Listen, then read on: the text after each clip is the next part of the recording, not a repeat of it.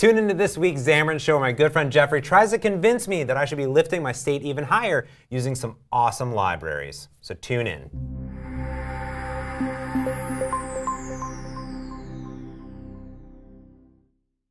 Welcome back, everyone, to the Xamarin Show. I'm your host, James Montemagno, and today I have my very good friend, as you may have seen on Twitter, Geoffrey coming in. How's it going, Geoffrey? Thank you, James. Um, thank you for having me here today. I'm very Um, excited. It took maybe a year and a half to get you here, but it finally happened. It's finally happened. Yes. Um, I'm so glad to, to come here today. Um, I would like to talk about some and share something that's very close to my heart, and that's uh, programming using the reactive extensions. And I'd like to share with you why it's so compelling and uh, how you can use it to simplify uh, your code base. Yes, and what has happened here is essentially Geoffrey looks at all my applications and he goes, I think I could make that better. I think I can make it cleaner. And I go, my code's really readable and is very out of the box. And something that we have a lot on the Xamarin Show are these great, amazing libraries that help not only sometimes architecture application in different ways, but also I think what's really interesting about reactive extensions and reactive UI is that it is not just a Xamarin thing, it's not just a C Sharp thing. Yeah. These things are kind of everywhere. And uh, if there was one person that I wanted to have on to talk about it, it, it was you. So I'm really excited. So before we jump into it, maybe tell everyone a little bit about yourself and your work in, in, in the RX space. Yeah, sure. Um, my name's Geoff Huntley. Uh, I got involved with Xamarin uh, s- ever since 2013, and I've been very active in the open source community. I took over a lot of creations created by Paul Betts, um, and Paul Betts was very, very um, excited about reactive extensions, and he kind of became my mentor, and I just took over after him. And um, reactive extensions is super compelling um, in the sense that it was invented uh, 13 years ago It's been around for a long, long, time. It's been around for a very long Yeah. Time. It was actually a Microsoft invention. And it's a paradigm, it's a way of thinking about your code. It- it's, it's completely different. But with reactive extensions, it does take a bit of time to learn a new paradigm. Yeah, But this paradigm is universal, got it. right? It is for all platforms. So if I was a Java developer or a Swift developer, are, are, are there libraries that are equivalent, I, I guess, Yep. over there? So there's like a Java React, is it called React or React RX or what, what's the actual name Yeah, so um? Actually, interesting enough, when you're doing mobile development in Android, it's now the default. It's now the default. So if you're going like doing interviewing, they're going to ask, what do you know about RX Java? Oh, RX Java. Okay, got it. Yeah, RX Java, and likewise, there's uh, RX Swift, there's RX Ruby. For all the languages you could possibly imagine, there is a reactive implementation. So this is universal knowledge. Got it. So it's kind of like when I think of, oh, we architect, there's kind of an MVC type of way, an MVVM type of way, how you're putting your code together, or maybe I'm, you know, ar- architecting a certain way, this kind of nice RX model that you want to talk about. Yep. You could be going, uh, coming over from Java, but if you know this, there is a library that will give you that paradigm Correct. over in the Xamarin world. Yeah. And all of everything in C Sharp, any the WPF, I assume, WinForms, Yeah, yeah, this, anything. this is this is not just about desktop or mobile applications. So reactive extensions is used heavily on the back end for reactive stream processing. Got it. Okay. and it's, it's used on the web. If you create a brand new Angular project, you are creating uh, a project using RxJS. Oh, okay. And Angular 2, it's now mandatory to know RxJS. Ah, So this is uh, universal knowledge in the sense once you learn it, you can cross over between these par- uh, this paradigm between different languages, and it's like unit testing. Once Got you it. know it, you just know it for life. Now, is there any crossover between like React itself, like on the web, and reactive extensions? RX, are those are they the same thing? Are they different? I mean, I'm not a web developer, Yeah. so I literally don't know. but I know that when I go and create a new ASP.NET, there's an option to do that. So that's my I'm glad you asked that question. And um, I'm a consultant, and I often implement uh, uh, solutions in technologies, like in different technologies all the time. And I'm currently doing a React project, okay. and I, at the same time, also maintaining the reactive extensions. So, from that experience, so this is the common this is the common thing that people get confused is uh, there's the reactive extensions and there's React. Two different things. Reactive extensions is about the paradigm of going from a push-based model to a pull-based model in your code base. Okay, got it. And where React is more about uh, the reactivity of, of things happen automatically. Got it. And what's really Im- important there in React is they managed to separate their uh, the UI from state. Oh, okay, got it. So it's like a whole separation piece. Got it. Yeah. Well, so let's jump into it then and learn a little bit about uh, reactive extensions and reactive UI. And I know that uh, we went through this earlier because I'm uh, like like probably a lot of our viewers may be really new to this concept. Yep. So I know you didn't want to just jump into like here's this amazing crazy demo, you know, and and actually describe why you want to use it, what your code may look like today, and how we can kind of clean it up a little bit with uh, the, the new paradigm. So I'm, I'm excited. Let's do it. Yeah, sure. So uh, the first thing I'd, like to show is um, I encourage everyone, please go out and read this academic paper. It's called Out of the Tar Pit. Okay. So there's this uh, paradigm called functional reactive programming. And this paper talks about uh, the problems we have, the real problems we have with writing applications is state. Mm, yeah. It's the real thing that needs to be solved. And something reactive UI does, it provides a way to handle state in a single place, and it's very composable um, using the reactive extensions. Likewise, React is also following this paper, their roadmap. They're going to be taking the entire community along the teachings of this paper. And what, what they do is they provide an imperative API without the reactive extensions. Got it. So they've got the same outcome in this paper, but two different ways of doing it. And that's it doesn't really matter if you're using reactive extensions or React, as long as you're separating your state away and handling your state correctly. That's the most important thing. And probably the easiest uh, example of reactivity would be uh, before we had data bindings, we used to do uh, label.txt, mm-hmm. and we used to set that manually. And then Yeah. we then we got uh, MVVM with data bindings, and then we got reactivity. Yeah, we kind of pulled it up. We pulled it out. We Correct. lifted the state, as we may call it. Yeah, Out. we lift the state. But uh, right now, that's where the, the that's where the current level of thought is. Is just data binding. Got it. But the world's kind of moved on in thought that we can do a lot more than data binding. Makes sense. I'm actually really, um, uh, a lot of our, our reviews may know I do a podcast with Frank Krueger, who's a big F Sharp developer. And on our, one of our most recent episodes, we talked a lot about functional reactive programming because that's what Frank uses. We talked a lot about lifting the state even higher. We talked about those paradigms, and there's a lot of web frameworks like Re- uh, Redux and a few other things like that are attempting to bring uh, those states up, which I think is really compelling as we see uh, a large shift of how we can uh, architect our apps in different ways. So um, I'm really interested in about it, and I know that you had uh, some really cool samples of maybe what my applications may look like today and how we can change those. Yeah, sure. So Yeah. uh, I- I've, I've, I've grabbed an application from GitHub, and the reason I grabbed this application uh, from GitHub because it mirrors the code I see in at my clients. Yeah. and they always have this problem. And um, it's they're mutating uh, the mutating state. They're essentially telling the computer how to do its job. Yes. So here we're getting some feedback. I'm telling it that right now it is busy. I'm telling it to clear a list. I'm telling it to go get the feedback. I'm telling it how to add those feedbacks to the list. I'm telling it how to sort. And I'm also telling it when it's done and also when to um, to show an alert dialog. Correct. So Right. th- I mean, there's, yeah. there's multiple concerns here in a single Yeah. command. So this command is meant to fetch a feedback from a service, Mm-hmm. but what's happening here is that has a side effect of enabling the loading indicator. Mm-hmm. It has some logic related to if it fails Mm-hmm. to showing an error dialog, and we also have some logic here for modifying the collection. Yeah. And as this code is currently implemented, uh, every time feedbacks, the collection of feedbacks is done, that's an observable collection.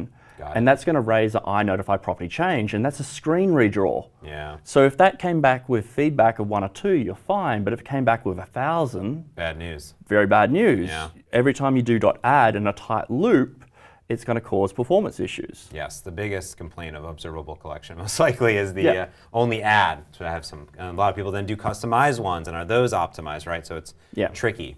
So how can? So what else is wrong in here? I mean, I know that we kind of step through them, perhaps of of each section. Yeah. Yeah. So we'll- we'll step through each, each one of the, the sections, but the main thing is the, the, the source of truth isn't Mm-hmm. defined in a singular place. Okay. That's Oh, I probably the, that's probably the, ma- the main thing is um, is busy is in an I command, right? It's in the fetch feedback command, and most applications have lots of other different commands. Mm-hmm. So what we get is is busy is if is busy or setting bus- is busy true and false continually. what you get is race conditions in your application. May have multiple commands, Yeah. maybe other multiple threads calling it, and now is it who's real busy? Is, is this thing busy? Now do I have to create a new is busy? It gets Yep. a little complicated. I see what you're saying. Got it. So here is a, uh, a, a, a mocked example of this. So we've got a load, and the load uh, sets is busy true and then is busy false. Very, Yep. very, very common. And then we uh, introduce another I command, the save. Yeah. We now have a race condition in our application. And if this is asynchronous and executing asynchronous task, you will run into, uh, run into multi-threading issues. Yeah, you're really essentially assuming that the UI you have to be real specific that they will never overlap at all, and that some something else may randomly happen. Yeah, and a, people spend a lot of time in their debugger, like sort, uh, resolving state, and this is why React and the other ecosystems that people are uh, like loving what they're seeing, is because they provide batteries by default that solves this problem. Got it. And the ecosystem by default is working on this problem. Um, and it's not really a discussion of like dependency inversion containers and all the rest. It's focused on the real problem, which is state. I see what you're saying. Got it. Okay. So um, instead of uh, instead of like telling the computer how to do its job, why don't we be a little bit more like Microsoft Excel? So here we've got an Excel sp- uh, spreadsheet, and if I uh, put in the logic in column C and of summing A and B, any time A or B changes, C reactively updates. Yeah. So normally you could say uh, C equals 42 plus 7, and then it's going to work. But we can clearly see this example is using a function essentially to Yep. say when A and B change, use those values, whatever they happen to be, to update. Very simplistic, but Yeah. in state that makes a lot of sense. Is anyone that's used Excel, probably quite a few of us watching, um, happens to be a lot of my job. Uh, very used to this model. And these things can get complex too. It's not as just simple logic. It could be uh, also change the color of this thing, do this other thing, right? All sorts of things. Yeah, so this, this example might seem contrived, Yeah. but reactive, react, uh, reactive programming and reactive extensions is all built, built on this one concept. And this one concept is throughout your code base. And if you solve it once and you just keep doing it again and again and again, and, and the code gets simpler.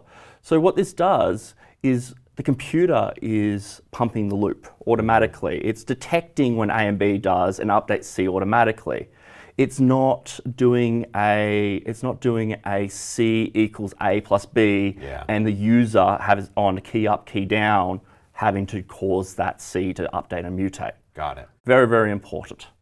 Well, let's look at that code base, how you would implement it in a reactive fashion using the reactive extensions. So this is going to be the same exact view model, but using reactive extensions. Correct. Okay, cool. So I'm using reactive UI here. And reactive UI is a very, very small set of extensions Okay. on reactive programming. So the learning reactive programming, it is an effort to learn it. But reactive UI itself is just extension methods that you would have naturally wrote yourself. Okay, got it. So the core of it here is you have reactive extensions and reactive UI adds this kind of nice little layer on top with a bunch of helpers since we are dealing with user interface in general. So I'm imagining if you're writing server code, you probably don't have reactive UI. We do have people Oh, using do? reactive UI. Because they're so helpful, I assume. Because some of these extension methods are so helpful, but yeah, you, you typically don't. But we have a .NET Core target, and Yeah. there's a uh, there is a finance company using it on server side Yeah, I because mean, of the yeah. extension methods. It makes sense. Okay, got it. All right, so let's talk through this code base. I still see is busy. I see a show alert. I see things that look very similar, but then I see some things that are different in here. I see a reactive list. I see a reactive command. So those are new. It looks similar but different. yeah, similar but different. Mm-hmm. So let's just quickly talk through the how the state has been separated, Okay. and then we'll look at the types. So in, in the previous code example, what we had was we had a, an I command, and within that I command, it was mutating the state of the loading indicator. Uh, it was also uh, mutating the state for whether you should show the error dialog, and it was also uh, doing what it, the command was meant to do, which is add stuff to the collection. Okay. So what we've done here is we've separated these concerns into separate areas. Right.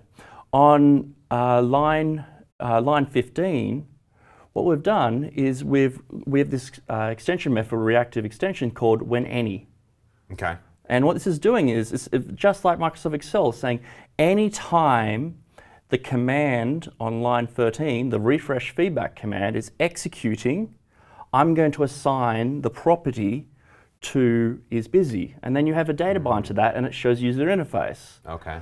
So what happens is on line 15, as you add more commands, you just chain the when any. You just you just keep listening to the other I commands, and you, that just grows, and that becomes the singular place in your entire application that defines when the loading indicator should be shown. I see. So you can say when any, but then you could also say when any is executing and when first name is true and or first name is James. When I have what, network any condition. When I have network connectivity, Ah. when I'm doing a network request, yeah. and so you just do select many. You just combine uh, combine these events down, Okay. and this is all happening in the constructor. Yes. Yeah. See, there's it's really lightweight essentially. And this is the first thing people get used to. It's just very different in use. You, you declare it's you're working in a declarative fashion, and it's all in the constructor. I see. Got it. Yeah. And then what we're seeing here is that there's this still a command, and then it's going to essentially fetch async. So it's still using that same code. Yeah. I didn't actually like have to change my a lot of my business logic. I'm kind of moving a few pieces around, but I'm still using my service and I'm still fetching that. I'm just fetching it in a different way, essentially, and then listening for it. Is that, is that the key? Is is the top level here, this refresh feedback? Below, I'm just listening for when things happen. Is that the idea? Yeah. Okay. So um, one thing with this is uh, reactive UI is with the extension methods for reactive programming. Um, that's kind of all we do. So you can use this with any other framework or library. You can intermix. And when you're first getting into reactive programming, I recommend you just do reactive view models. You do your business logic in a reactive fashion. I see. You still keep everything asynchronous, all your services, until it makes sense and you become comfortable using observable. And then you can go full reactive. So Okay. a asynchronous is a single value returned. So uh, you do a method call, you get a single value back asynchronously. Okay, got it. Mhm. And reactive command returns what's called an observable. And this is the original pattern from the Gang of Four. Um, there's plenty of information out there that explains how reactive extensions work and how observables work. And the main thing about, about them is it can turn multiple values over time. Oh, okay. So this is why we're in the, in the constructor. Uh, this Yeah. is why we're working in the constructor. We're declaratively uh, defined how this should behave. And uh, this command is essentially just saying, I have an I command. When this I command is executing, I'm going to do a async using async await network request. Mhm. And that's all it does. That's it. That's it. That's what it's supposed to do. That's all it does. Yeah. But there's something about reactive command, the type. What it does, it gives you certain guarantees about varying the results uh, back from the background thread to the UI thread for you automatically. It also gives you guarantees that only uh, one operation can be running at the same time. So if this I command was data bound to a load data and the user tapped on it lots of times really fast, they're all ignored. Got it. Yeah. It So even if you forget to disable the button, it's okay if they jammed on it. It's going to guarantee Yeah. that it's just happening once. And uh, on line 15, there's a is executing. That itself is an observable. Oh, okay. And we're using that to determine when we should show the loading indicator or not. But you can data bind to that. Oh, I see. And you can data bind whether the command is enabled or disabled straight off that property. Cool. So it's, it's really, really cool. And um, in the previous code, we saw that there was two conditions. There was a happy path and a failure path. Yeah. Yeah. Often, almost almost any time that you're making any network request, right? It's either going to return the data, the big JSON Yep. blob, or it's going to throw an exception because you're offline or that server isn't available. Yeah. So yeah, so what we got on 18 is we've defined a happy path and a failure path. Mm, so really now our separation is not only when that thing is executing, but it's the different paths that our code can take. Correct. Oh, cool. And it's all defined in, in a singular place where you can actually start composing this very much with when any value on any on any observable. You can do when any value on that and start composing using these these outcomes to compose another outcome. Oh, cool. So it, it, it cascades. So on line 19, there's something a little bit different. Um, we're using a reactive list, not an observable collection. And Observable collection has the naming of observable, Yes. but it's not observable in the sense of the gang of four pattern. Yeah, it, it literally just has uh, property change notifications and a, collection change notifications built in. And it's a really good primitive, except if you're doing a large amount of updates to a, a parent object and you're updating the child. In this case, the child is adding feedback. And what reactive list does is it exposes observables very similar to is executing that allow me to detect when a change is about to happen, when it has happened, and after it happens.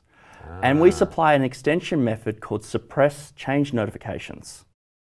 And that's what it is on line 19.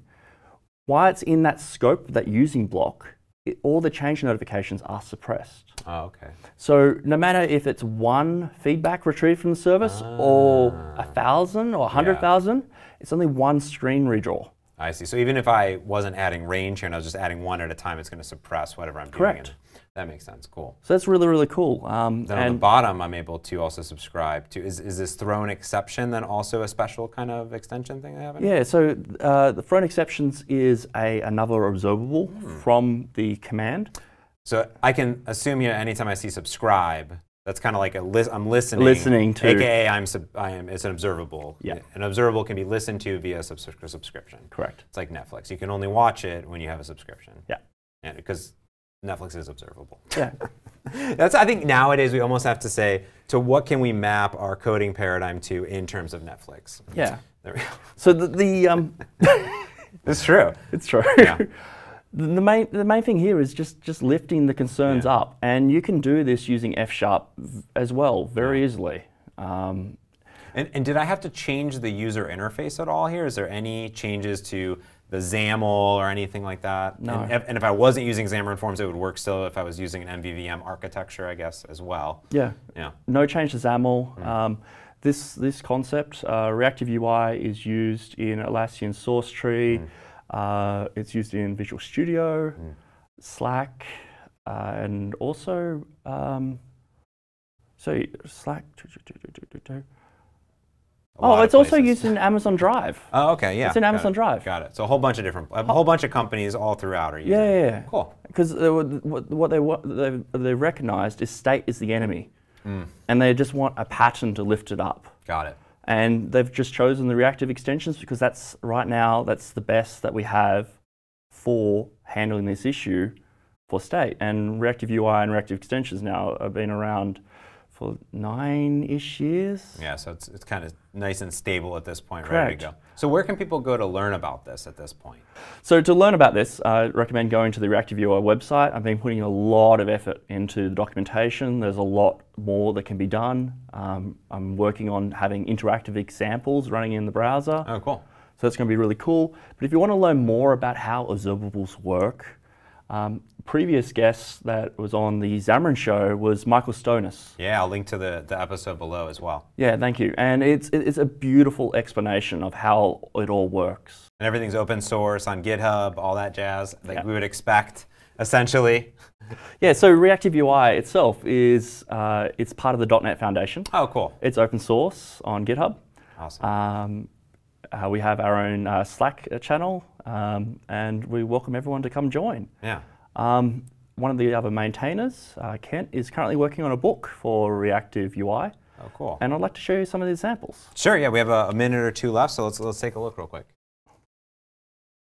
This is kind of like an interactive book here. Yeah, so this is an interactive book. So with, with the book that's been made, it's actually a physical book, Oh, cool. but it also has code samples to go with it. Ah, Got it. So he's created a WPF-based application because we're talking about view models here. View models are meant to be platform agnostic. And what we have is a, just a simple username and password field. And this has some business logic in it saying the login button is disabled when the username and password is blank. Sounds Right. looks pretty familiar. yeah. Very familiar, very, very familiar. Yeah. And likewise, it also has business logic saying the cancel button is uh, disabled when the login button is uh, not executing or not, not, not enabled.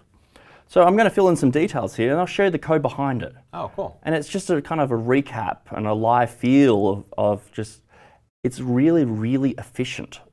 And because the computer itself knows what its job is and it's doing itself automatically. It's not me doing key up, key down, and hooking event handlers to cause the loop to pump. Okay. It's all automatic. Cool. Let's take a look. All right, so as soon as I put a uh, password in, the login button became enabled automatically. And likewise, I click on login, cancel is automatic. And some and, And fails, pop-up. and pop up. Yep. So let's look at the code behind this. All right, so on line 24, what we've got is the business logic for can log in. Hmm. And what happens is normally you would put this business logic in the I command. Yeah. Instead, what we've got, it's just like the is busy we, talked about previously, is as the business logic grows, you just keep adding when any values to that, and it's defined in a single place. So we take the you can log in, and that's consumed by the login command, and that's down on line 34. Hmm. And what that does is the, the reactive command is, is consuming the, the observable, and anytime that turns between true and false, because what it's doing with true and false is evaluating whether it's string or null or white space. Sure. So every time the uh, every time these properties change via a data binding, it will automatically evaluate this. Got it. So no need to try to re do Yeah. it yourself. It's just gonna do it. And then also at the same time, can login is reusable. So you can reuse this in multiple Correct. areas of your, your of your within your view model and, your view model, yeah. and your business logic. Cool. And uh, so we consume this, and the, the button turns on and off perfectly. It's perfectly efficient. And likewise for the cancel command, I can actually take the whether the login button is executing or not, and use Mm. that as business logic for whether the button can be enabled or disabled. Got it. That makes sense. Very Yeah. cool. I like that. It's nice. Here's like here's a little bit of sample. Here's what you're looking to learn, and then here's exactly what it is, but not this huge crazy project. Yeah. Yeah. Very nice. Yeah, so um, line 31, 32, and 33, these are the operators for the reactive extensions. Mm. This is universal knowledge. Um, please go see Michael Stonis' talk. Yeah. I'll and there's it, yeah. plenty of uh, plenty of content out there. Awesome. Geoffrey, this is great. Uh, I'll put all the links to everything that you showed uh, in the show notes below, including that video. Uh, and thanks for coming on. I appreciate it. James, thank you very much Yes. for having me. Yeah, trying to make me a believer. We'll see how much code turns reactive for me uh, in the next few months. So thanks again for coming on, and thanks for everyone for watching. This has been yet another episode of The Xamarin Show. I'm James Montemagno. Don't forget to subscribe. Hit that bell down there. Subscribe over there. You know what to do. Make sure you get those updates each and every week right in your inbox. Until next time, this has been another Xamarin Show. Thanks for watching. Adios.